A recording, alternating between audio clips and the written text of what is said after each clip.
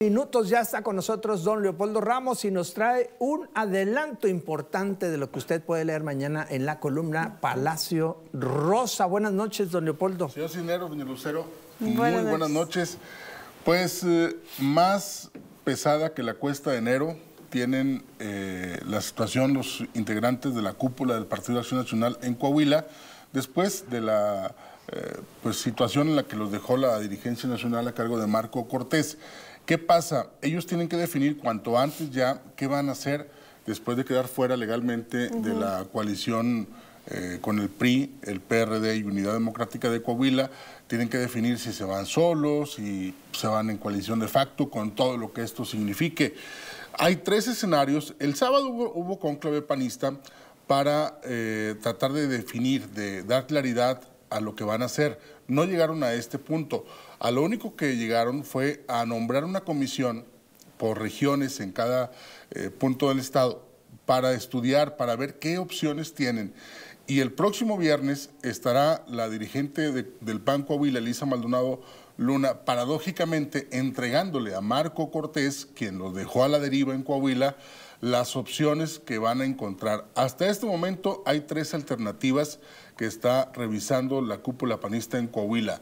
Una de ellas es prácticamente rogarle al PRI y a sus aliados, al PRD y a Unidad Democrática de Coahuila, que los dejen llevar mano en la designación de candidatos en Monclova y en General Cepeda. En Monclova para tratar de conseguir la reelección del doctor Mario Dávila y en General Cepeda para tratar de conseguir la reelección con Pablo Salas Aguirre. Y que el PRI y la Alianza no presenten candidaturas en estos dos municipios. Y el PRI dice, ¿por qué? ¿Y qué necesidad? Claro. Claro. Bueno, pero esta es una opción que está manejando la cúpula panista. Opción dos, que les permita a la alianza llevar candidatos a regidores en, los diferentes, en las diferentes planillas. El voto no sería para el PAN, pero con esto garantizarían tener posiciones en todos los municipios y no desaparecer. Tener presencia en los gobiernos municipales. Esa es la opción dos. Camuflados. Así es. Camuflados como parte del PRI, PRD y UDC. Insisto, los votos no serían para el PAN porque el PAN no iría en la alianza, pero finalmente habría panistas incrustados en los gobiernos municipales. Y la opción tres, la opción más cuesta arriba, ir solos, Ir solos. ir por su cuenta y nombrar candidatos en los 38 municipios. Pero, ah, caray, tienen que... A ver, fíjate, fíjate, Lucero. Tiene que cubrir requisitos en materia de género.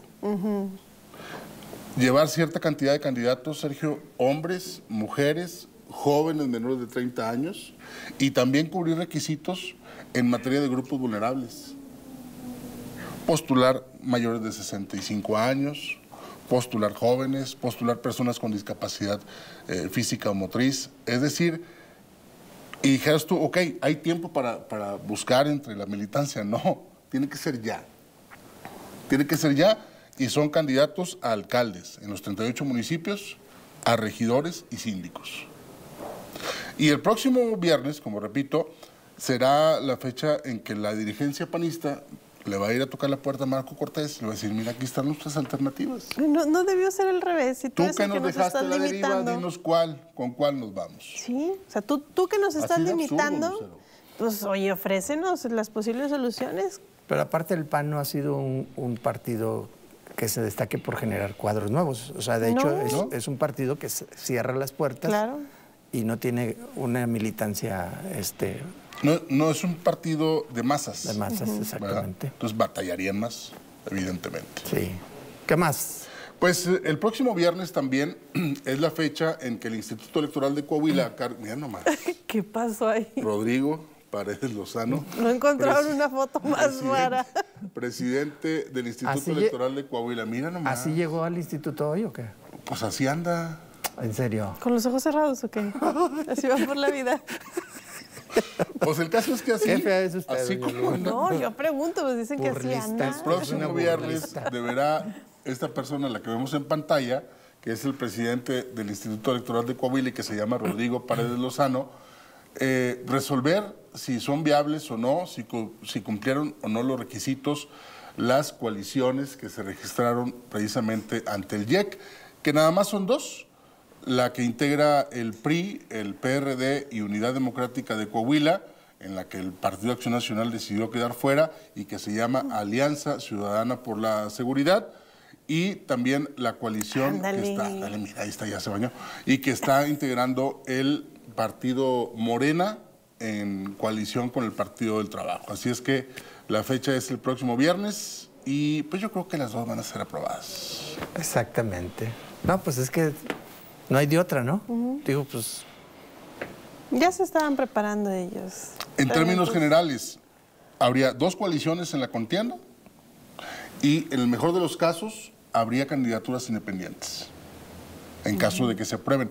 Recordemos que hay cinco candidatos o aspirantes a candidatos independientes que están tratando de conseguir, de reunir las firmas de apoyo ciudadano para pasar a la siguiente etapa, que es precisamente ir a la contienda, a las campañas electorales. Pero en municipios este, Uno en Saltillo, ah, otro en Monclova. En Saltillo está Eduardo Pacheco. Okay. Ah, está también un candidato, un aspirante a candidato independiente en Monclova, en Parras, en Musquis y creo que en Torreón, si no me equivoco, el otro municipio.